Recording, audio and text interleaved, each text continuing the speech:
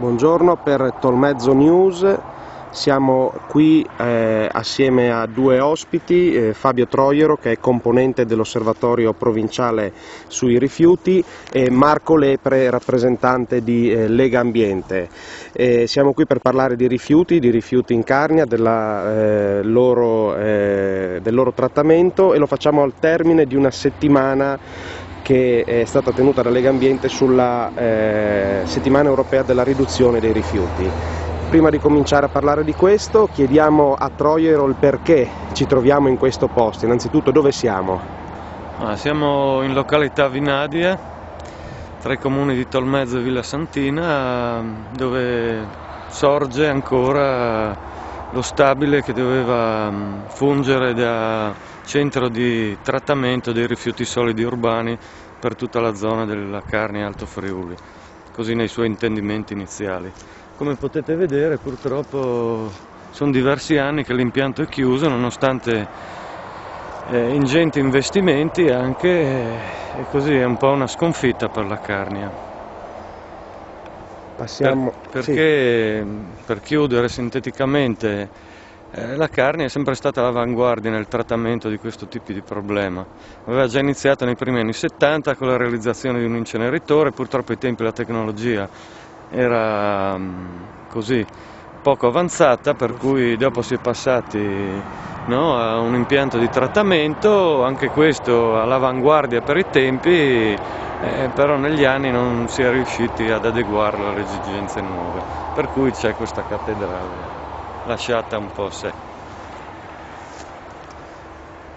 Passiamo la parola adesso a Marco Lepre che può riprendere da queste osservazioni e poi anche cominciare ad accennarci quali sono stati, qual è stato I il problemi. bilancio di questa settimana e i problemi chiaramente a monte.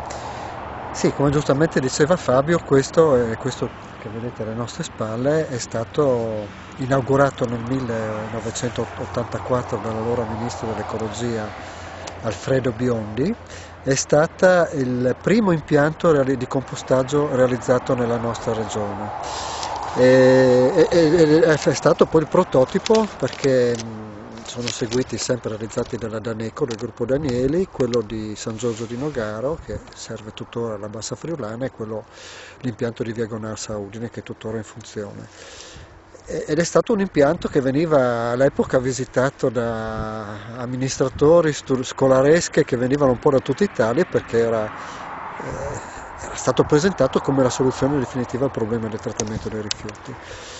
Mm, era una, erano tempi in cui si era all'inizio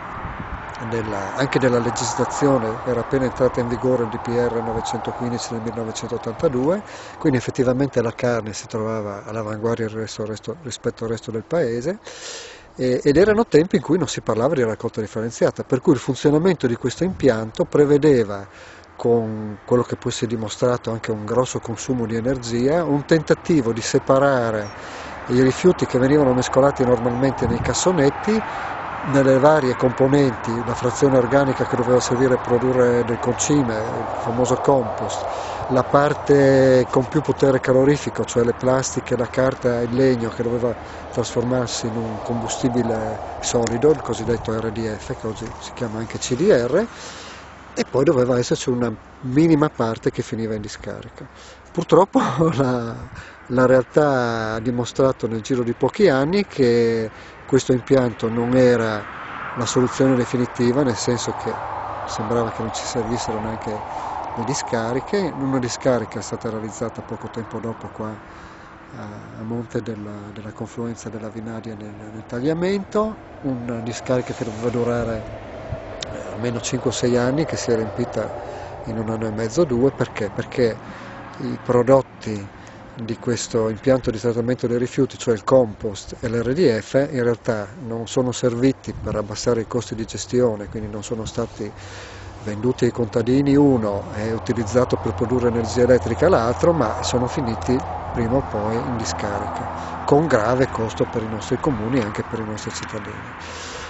Eh, diceva Fabio che in realtà eh, la carne è rimasta all'avanguardia nella, nella, nel trattamento della, della questione dei rifiuti anche perché sulla base dell'esperienza che, che, è nata proprio vent'anni fa a Caneva da parte del comitato nato contro la discarica c'è stata la prima, primo,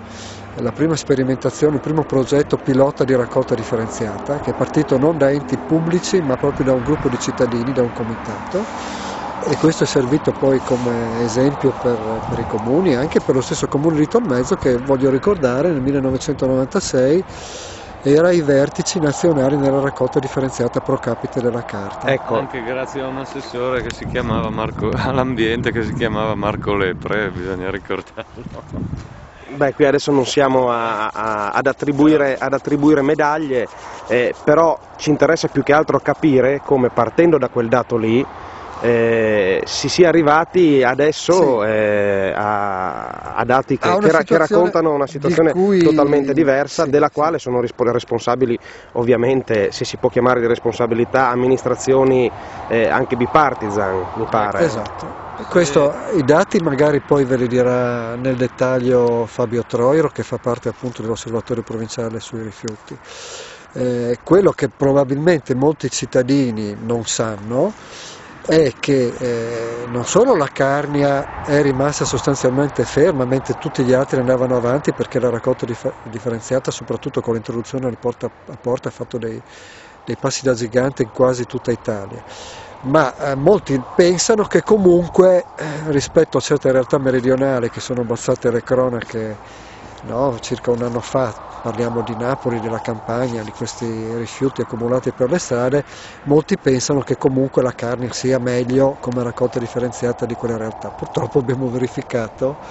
che le cose non stanno proprio così e che gli obiettivi soprattutto fissati dalla legge ancora nel 2003, cioè il 35% di raccolta differenziata, nel 2008 non era stato raggiunto ancora da nessun comune della carne. Quindi siamo in un notevole ritardo e teniamo conto che per il 2012 l'obiettivo è quello di arrivare al 65% di raccolta differenziata.